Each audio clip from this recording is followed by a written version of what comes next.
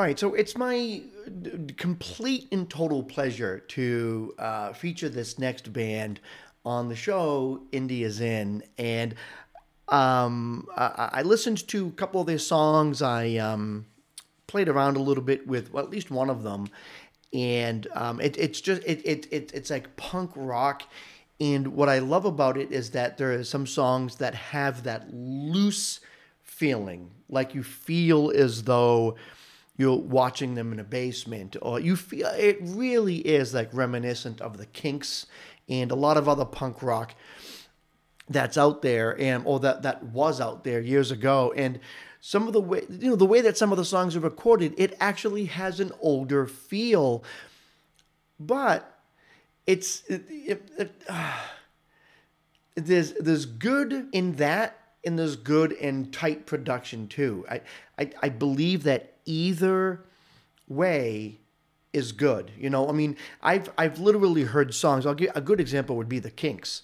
Like I've heard songs from the Kinks where I mean the amplifier was like ripped and they they got this horribly distorted sound from the guitar and they decided let's keep it and it sounded loose and there was a little bit of um, you know room you can hear the reverb like in the room and uh, they left a lot of that stuff in and it was really good and, and it really felt good with the genre. But you know interestingly the kinks didn't always do songs of that style. They did songs um, that were different they did so i mean uh, what's that song uh, come dancing that's in my opinion anyways i mean for what it's worth um, in my opinion that's a tighter production.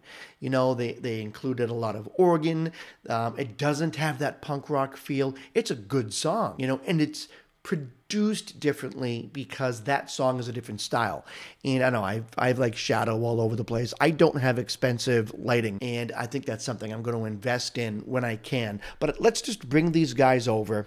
It's the band, and I love this band name Plague Vendor. And in my opinion, they're doing everything right. Now, how did I get you know, introduced to this band? Well, I put a call out there and I said, hey, this is Tag Your Friend Day. This is a couple days ago, and I've been making videos off that post since then. I put a call out there and I said, hey, if you have a friend who's a musician, um, an indie musician, tag him or her and send me the link. You know, I wanted to see what other people were listening to for indie music, and the band Plague Vendor was sent over to me and I listened to maybe five of their songs and I'm to play two. They're both fantastic. I do want to show a contrast between the two songs. Really simple.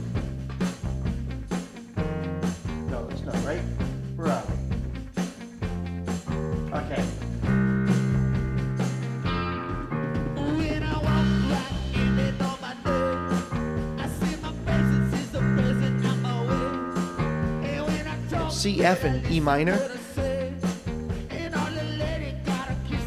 So you would think it's out of the E minor um, scale, but it's more like E flat because it has more of a like, a like a major key feel. But let's just stop the song for a second.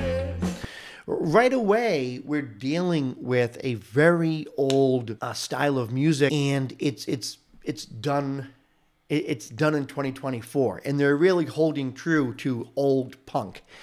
And i love the fact that it's just people rocking and rolling over over basically two chords or three chords. It, it's that and those chords are pretty much the whole entire song. But as you listen to the production listen to how loose everything is. It's perfect. You feel as though you're hanging out with the band as they're performing this song. And i don't think that's done on accident. I think that that, that little bit of extra reverb on the drums and that little bit of extra, you know, um, space for the vocals and um, the simplicity of the chord changes and, you know, the guitar comping really not playing a lot of notes, just kind of like think, think, think, think, think something off the top end of the chord, you know.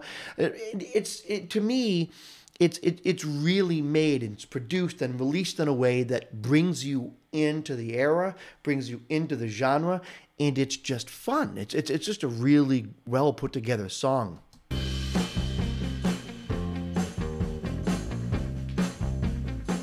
And the music video is awesome.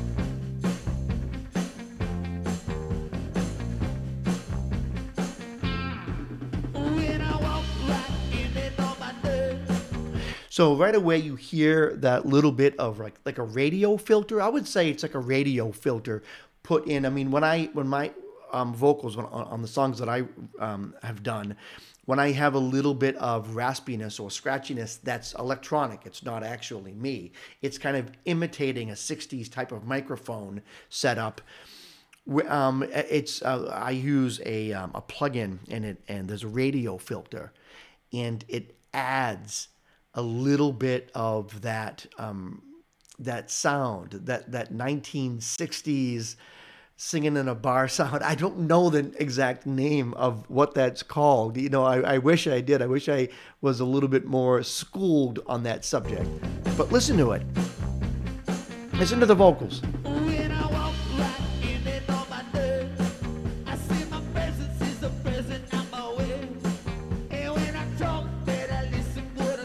I think they have the same mixer I have.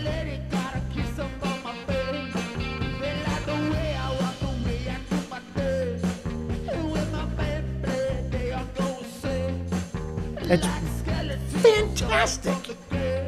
Fantastic. Nice telly. Yeah, nice raspiness. Oh yeah, you can hear there's a, he's singing through a filter. There's some kind of filter there. Really great, but that's reminiscent of the genre. You know, that's what you want. The song wouldn't sound the way it does. It wouldn't sound as good, in my opinion, if you didn't use that filter on the vocals. You know, where you kind of you feel like you're singing through um, something. You know, and that's that's the feel. That's that's the genre. That's the song. That's that's how it is. You know, I love it.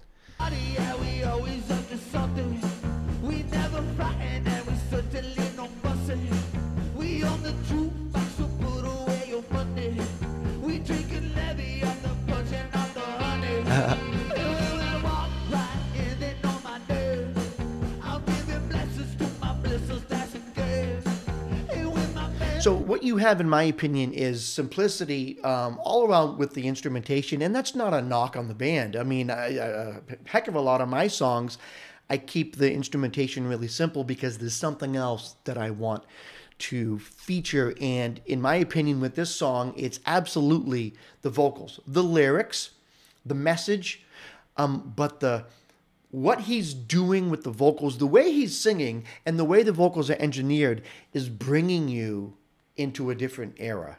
I mean, this sounds like 1960s punk rock. I mean, it just does. I think it's brilliant the way that it's the way that it's. Um, I know as I scratch my leg, I'm going like behind the screen. I apologize for that. It's brilliant the way that it's engineered and produced. But I want to stop this real quick, and I want to go to another song of theirs that I think is um, just fantastic, but produced and engineered differently. Now, listen to how different the production of this song is.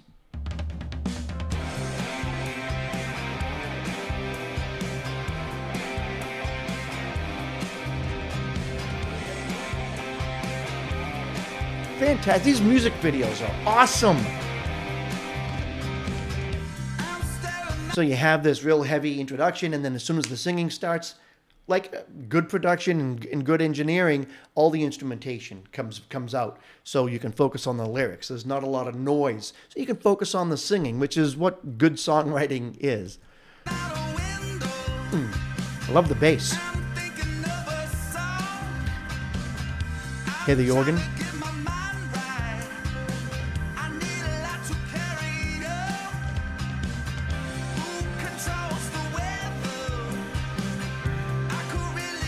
Major.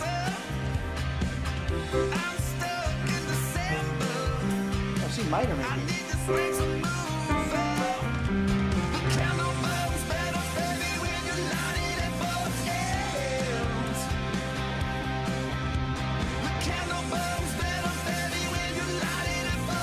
Music video is awesome.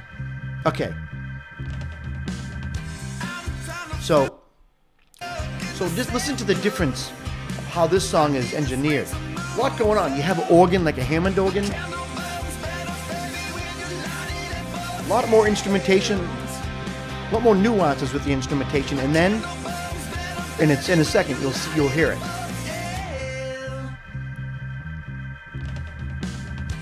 Right there. Just everything about that. The stop, the fact that the organ kept going, the drums before you get back to the to the verses.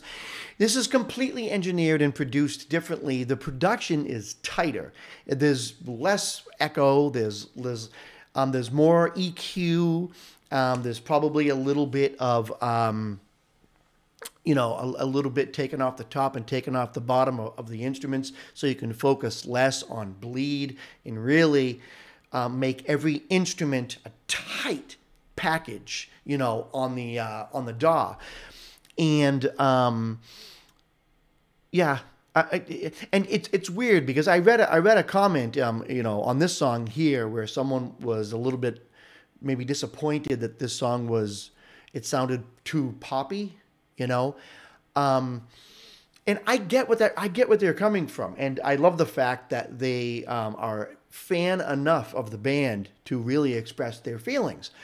Um, but I, I i i think what's what, what you have and, and this is just my opinion and take it for what it's worth i remember um, when stick figure first came out uh, his first few albums were um, were you know it, it was I think they were made. He's from Massachusetts, which is weird because he, he plays such beautiful reggae music. Uh, lives in L.A. now, but um, well, somewhere in California.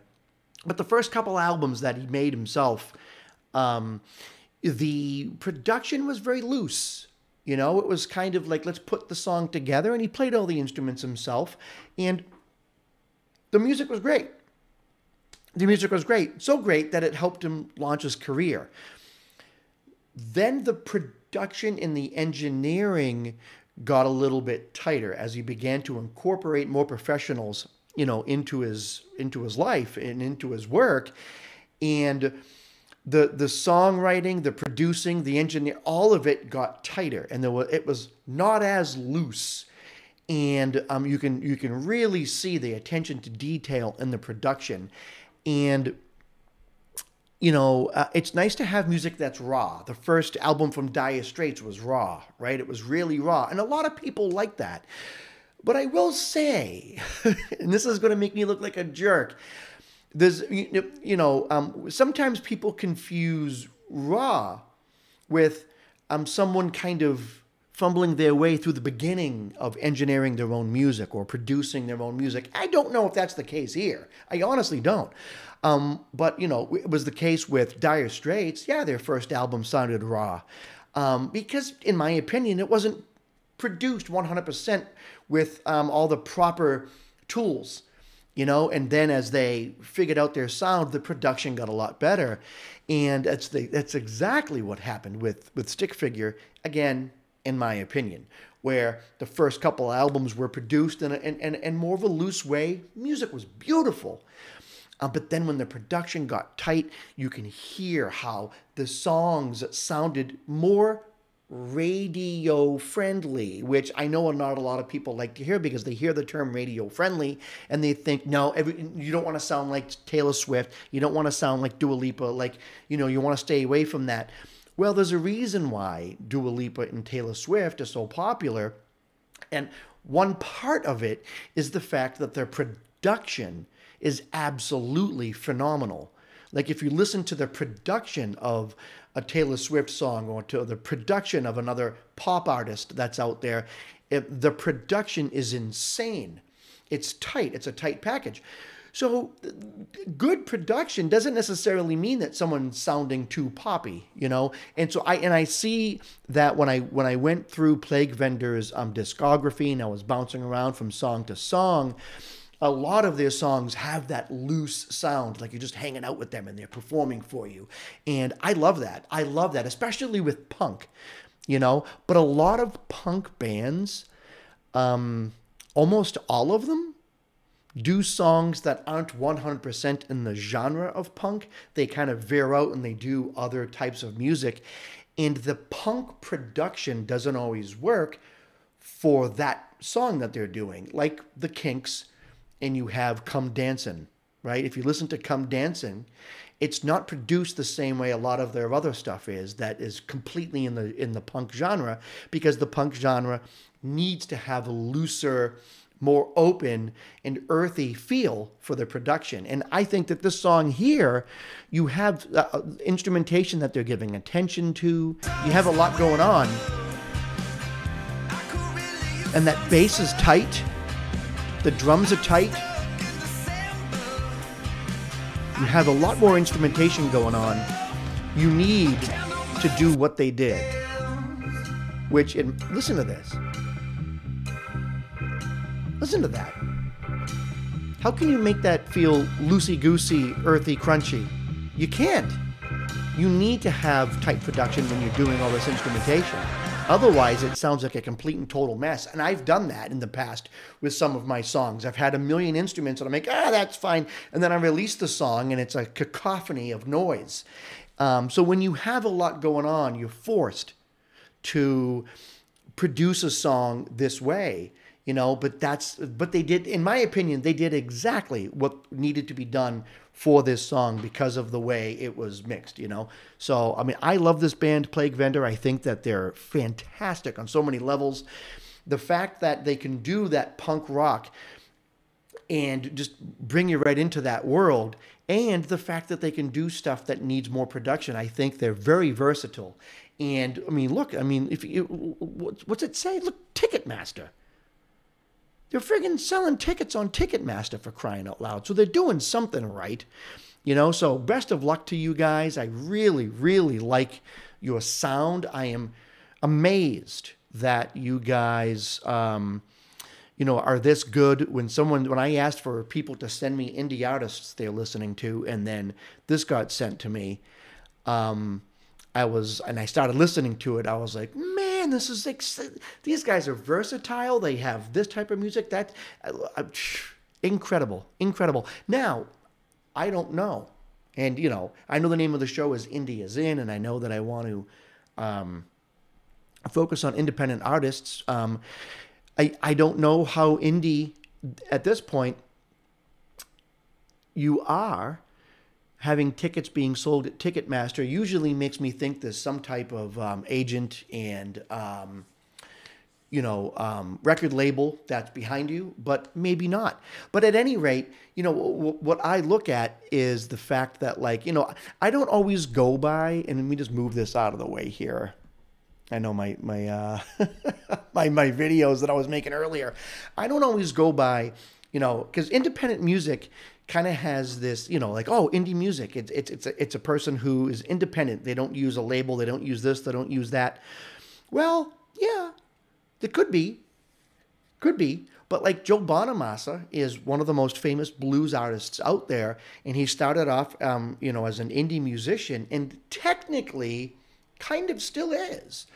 You know, he hired a manager and another producer and then created his own record label. And then through those efforts, uh, he sells tickets on Ticketmaster. And if you break it down and look at it on paper, he's still considered an indie musician, even though he's like the number one selling blues artist of all time or something. So I, I, I do have, I'm pretty liberal with the um, definition of indie. You know, there are some indie artists that have actually signed with record labels, but they're still um, living the indie artist life. And even though they're signed by a record label, I still consider them an indie artist. So, um, yeah. But, anyways, I'm going to put the uh, information down below for this awesome band. And um, hope I didn't offend anyone with my opinions or my thoughts on things. Um, it's really all positive. I think that everything that you're doing is fantastic. So keep it up. And, um, you know, maybe I'll come see you if you come to Florida who knows? Um, okay, so I'm going to put the information down below uh, for the band, and I'll put their YouTube channel there. And their YouTube channel does have, um, you know, where you can buy tickets and stuff um, uh, to see them live. And that's it. My name is Arty Aster, and I am your host. Thank you for watching this episode. Stay tuned for the next one.